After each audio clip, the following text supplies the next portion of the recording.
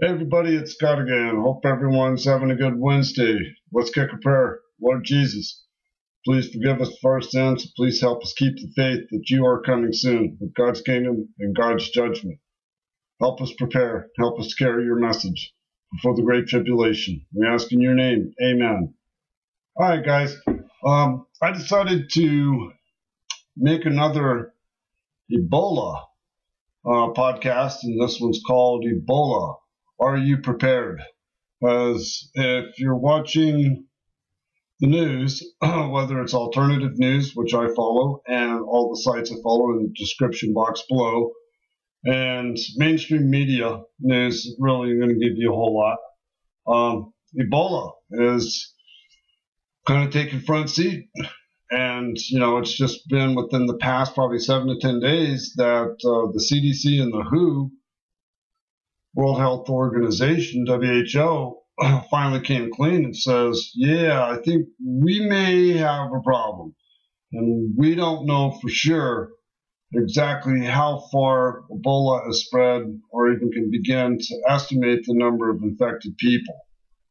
Okay, and then let's put that information on top of we are flying several, several confirmed Ebola victims into this country and taking them to standard hospitals. And Germany's received some, some other countries. So I don't think the, the WHO and the governments are playing this smart or really initially were taking this very seriously. This is a bad little virus or bug or whatever you want to call it. It's bad. And the survivability rate, from what the experts say, is not good. And it's a, from also from what I understand, I've read some reports that it is just an agonizing way to die.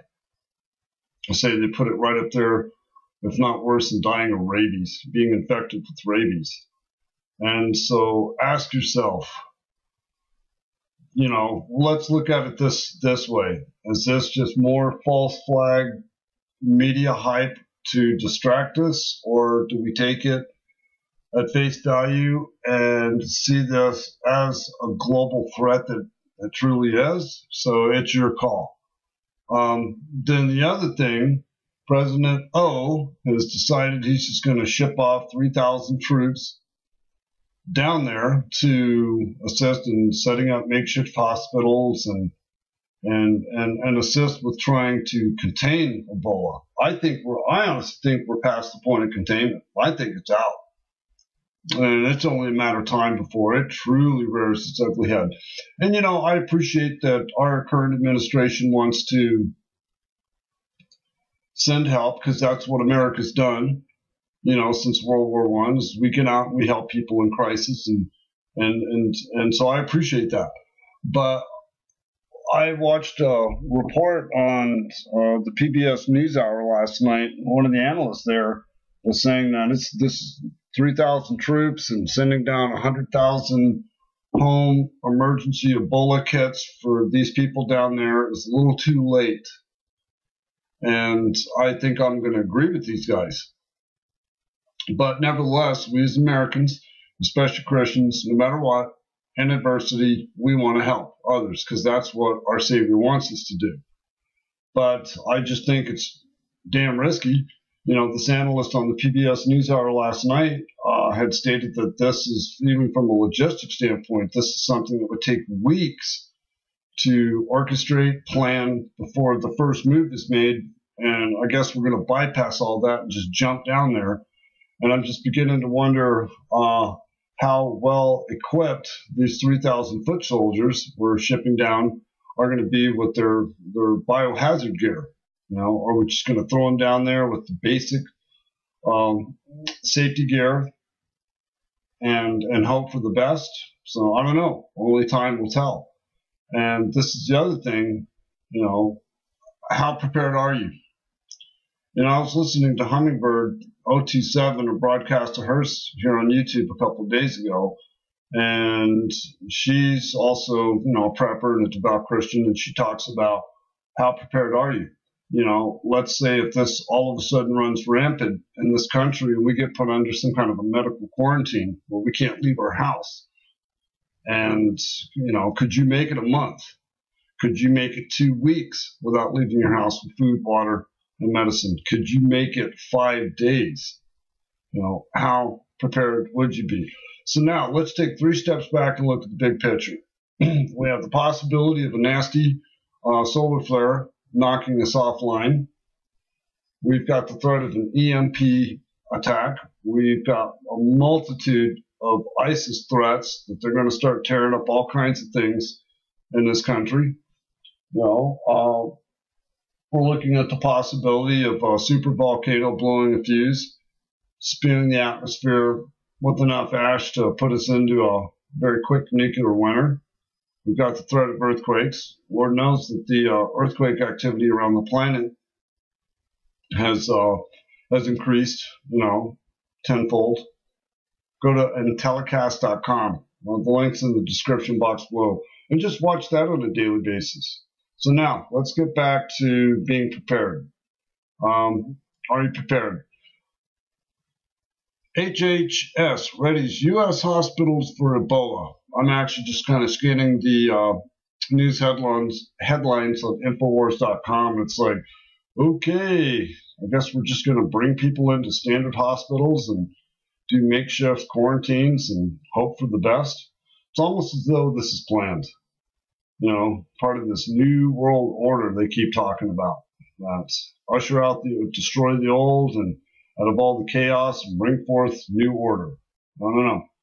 It, uh, not a, I'm not a conspiracy theory person by any means, but I do believe in the prophecies in the book of Revelation, and it does talk about the New World Order. So anyway, also I listened on TruNews.com on Monday, September 15th. I listened to Rick Wiles's broadcast. He had Dr. Jonas Schmidt uh, Chancet uh, from Germany was on there. This guy's very knowledgeable about uh, diseases and stuff like you know typhoid, bubonic, um, what is it, the swine flu, the bird flu, and he was talking about you know self protection, and he made the comment um, in this uh, interview that oh yeah, you got to have you know level three uh, biohazmat protection to, to totally protect yourself from Ebola. Went, okay. You know, if you're going to be, you know, dealing in direct contact with um, people that are infected, and thought, well, okay, you know, I just want to build some basic protection. So I got online, Googled around, looked at these level three biosuits, and the cheapest one I could find was like $278. And some of these biosuits, all the way up to the military CDC grade of like $3,000. I thought, okay, I can't afford that.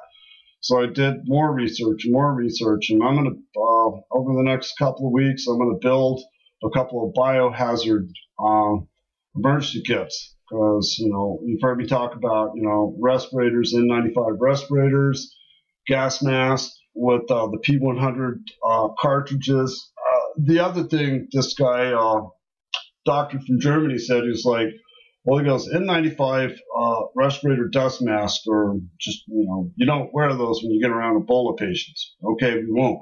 But I tell you what, if you're trying to scramble and get home and having to deal with a little bit of the public under the suspicion of Ebola as present, you know, and an N95 will, will help.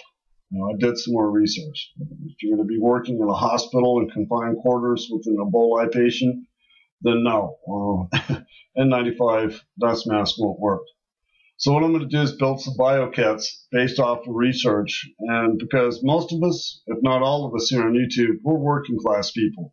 We buy exactly what we can afford. So as always, I'm going to do extensive research and see about, you know, putting together maybe a kit for under $300. That would be a good protection.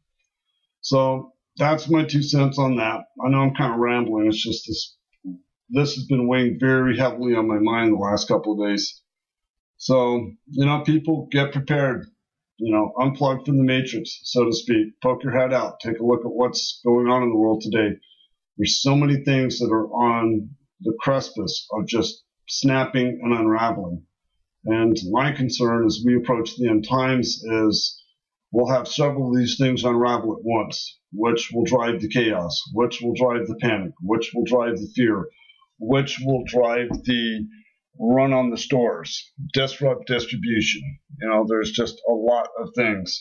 So ask yourself, you know, do I want to risk my life out there fighting hundreds of people grocery stores, Walmart, Smith's, Albertsons, trying to get two or three days worth of food, or do I want to be smart and each week, each payday, buy a little extra, put it at the house? So it's up to you. But with that being said,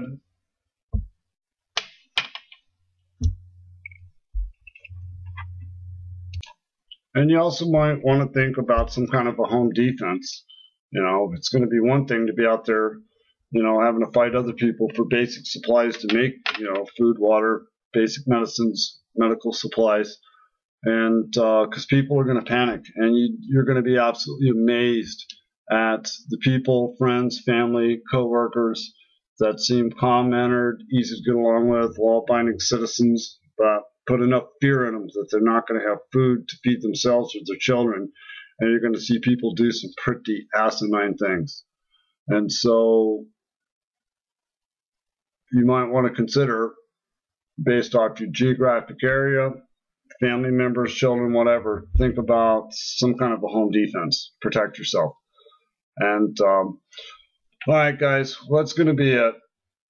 I got to go do some stuff, do some more research. So, you know, thanks for listening. You know, just be safe, stay aware. Most importantly, be prepared. I'm out. Ciao.